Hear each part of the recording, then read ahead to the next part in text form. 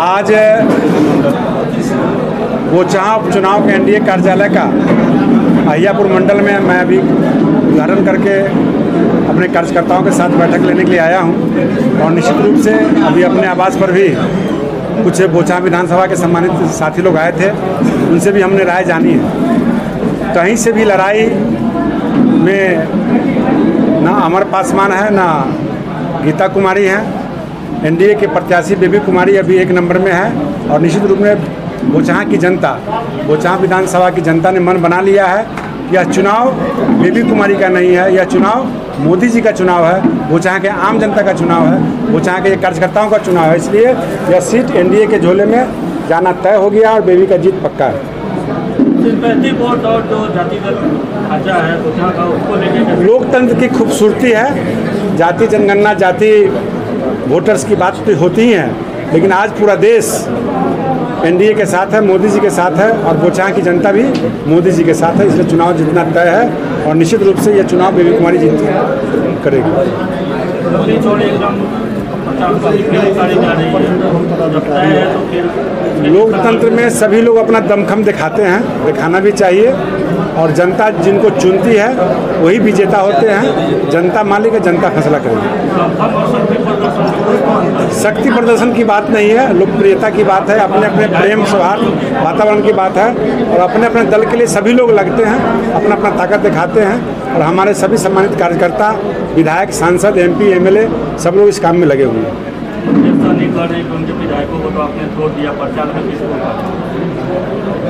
जो अपना घर खुद नहीं संभाल पा रहा दूसरे पर आरोप लगाते हैं। वो जब उनका परिवार, तीन लोगों का परिवार था जो व्यक्ति तीन लोगों को खुश नहीं कर सकता है वो पूरे बिहार और पूरे बोछा को कैसे खुश कर सकता है? आप खुद समझ सकते हैं इस बात को। जब तीन ही लोग थे तो फिर भाजपा में विलय क्यों कराना तीन लोग उनके उनसे नाखुश थे।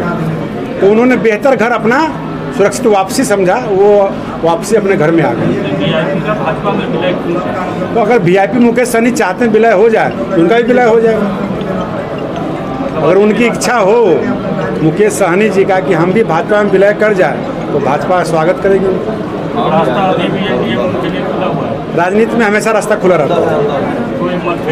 कोई मतभेद नहीं। कोई मतभेद नहीं कुछ नहीं कुछ नहीं। सब सब बिहार के जनता मालिक है। जनता जिनको चुन के भेजेगी वही उनके सेवक होंगे।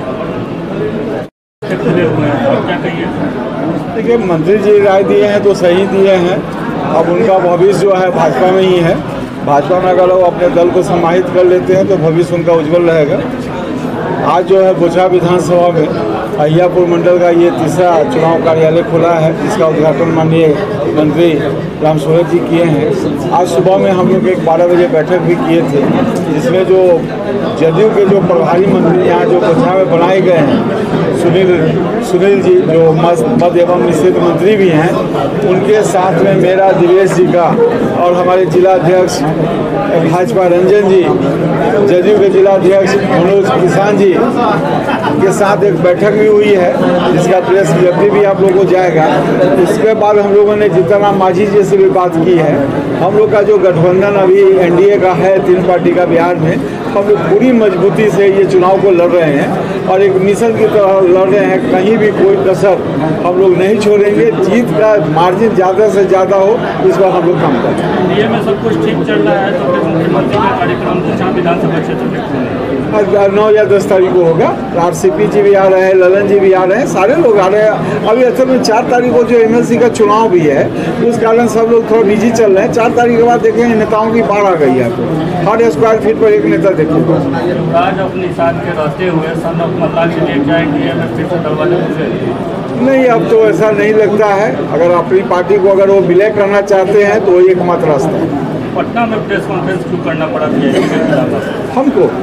अरे पार्टी का निर्देश रहता है हम तो जहाँ खड़े रहते हैं वहीं पर प्रेस रिलीज़ हो जा रहा है आजकल मेरा टीआरपी बढ़ा हुआ है।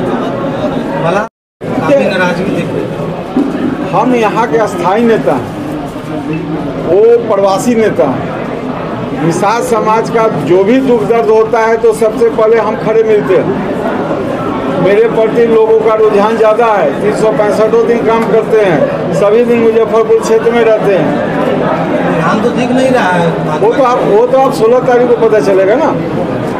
अंदर अंदर करेंट बढ़ रहा। है